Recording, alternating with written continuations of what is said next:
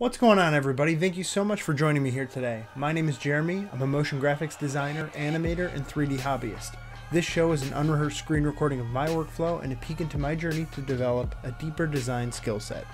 Here, it's not so much practice makes perfect, but more practice makes progress. This is The Drill.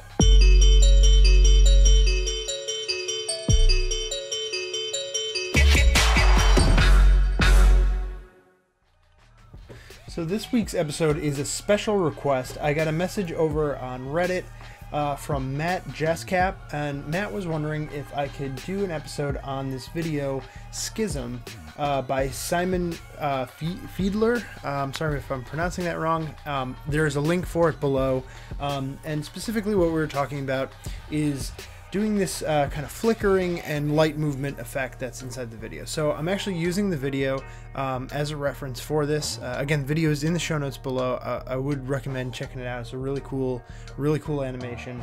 Um, and it was a this was a fun exercise to play around with uh, different light passes and um, to answer the question that uh, you know I got over there from Matt was was uh, the way I handled this was with different light ID passes on my Octane lights. Um, I believe this is you're able to do this natively in Cinema 4D. I don't have uh, a lot of experience doing that, um, mostly because I've been using Octane um, almost exclusively since starting uh, to use Cinema 4D. So I'm sure with a little more research, I could uh, dive into that a little more. But basically what I've done here is set up some soft body spheres to add to the scene a little bit. Uh, in Schism, there is a triangle, there's a character touching up against the glass and stuff like that.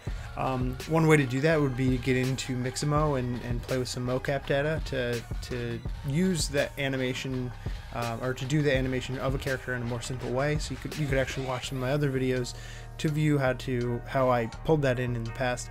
Um, but with this, I just I'm all I'm really doing is using um, I'm using the built-in dynamics of Cinema 4D. Uh, it's a fan, I believe it's called a fan, um, to blow or I'm sorry, it's wind. I'm using wind to blow the the spheres toward this glass, and I'm just using glass uh, with some roughness on it. Uh, it's just default specular with some roughness on it, right in Octane, and that is um, letting that light spread across the glass. So what I did was um, the important step of this is going into your Octane render passes and changing um, uh, and turning on all the light, the material light ID passes. Uh, I'm sorry, not material light ID passes. They're just light ID passes, and you can do one through eight. So in your Octane light object, you can define what the light pass ID is. So I went through and used eight different uh, eight different area lights in this and labeled them one through eight respectively. And then what I got were, were eight different light passes out of Octane and out of Cinema 4D. So then what I did is I used light pass one on a black solid in After Effects and I just flickered that on with uh, opacity layers. So I just got this flicker of the light coming on, and you could see um, about 10 frames in where the light or where the layer is split, and then there's a loop out animation from 100 to 95 percent. Uh, looping out so that light you get that fluorescent light flicker look after that then what I did is later on in the timeline I did the same thing for each of those each of those different light ID passes and offset them a little bit. Um, now that I'm looking at this, there are actually more than eight lights, uh, but some of them are on the same light ID number. I believe there are 12 lights, and Octane only allows you to go up to eight light ID passes.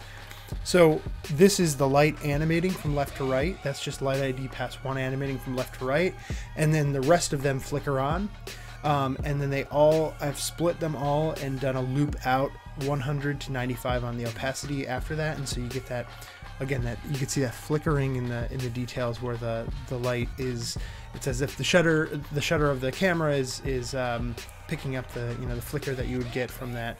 Um, if you're using you know if you're actually doing photography or, or videography and you're using LED lights for example you actually need special LED lights that don't flicker or else your camera picks that up. So So there you have it for this week's episode. Uh, Matt, I really appreciate uh, you you sending a request out there, and it was a nice exercise for me to do. Um, and I hope it sheds a little light on the question you had. If anybody else has any requests or anything like that, you know, I'll continue to do different episodes each week. But if you have a question, I would love to try to tackle it. And uh, I think just the community talking to each other is is you know really is a rewarding process. So if uh, if you have any questions, please feel free to send them to me. You know how YouTube works. You can like, share, subscribe, and comment down below. Um, if you would like to consider subscribing, I really appreciate it. It keeps the channel moving. You can follow me on Instagram and Twitch at Jeremy underscore Walker. That's J R M Y underscore W L K R. You can visit my website for updates or shoot me an email at jeremy at jeremywalker.com. Thank you again so much for watching, and I can't wait to see you all next week on The Drill.